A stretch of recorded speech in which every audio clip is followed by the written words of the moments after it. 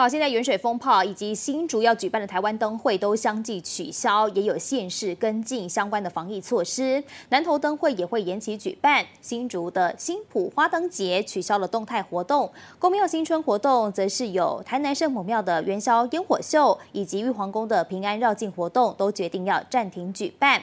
只是香火鼎盛的南投子南宫，新年重头戏初一发钱母，十年来首度喊卡，会改用不同的方式进行。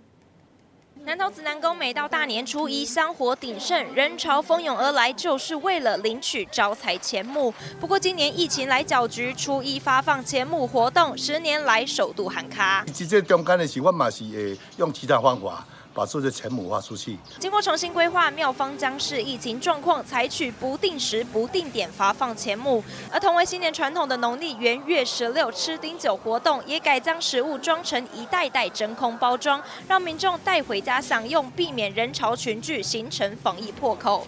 而新年活动被迫喊卡的公庙，还有这边不得已的选择，因为这个风险啊，事实上谁都承受不起啊。台南圣母庙配合防疫，宣布停办三十年来不间断的元宵烟火秀活动，还有玉皇宫的万人绕境也比照春节大型活动取消办理。观众多啊，啊，疫情啊再传染的话，会带来很大的不幸。那在我们已经啊讨论决定。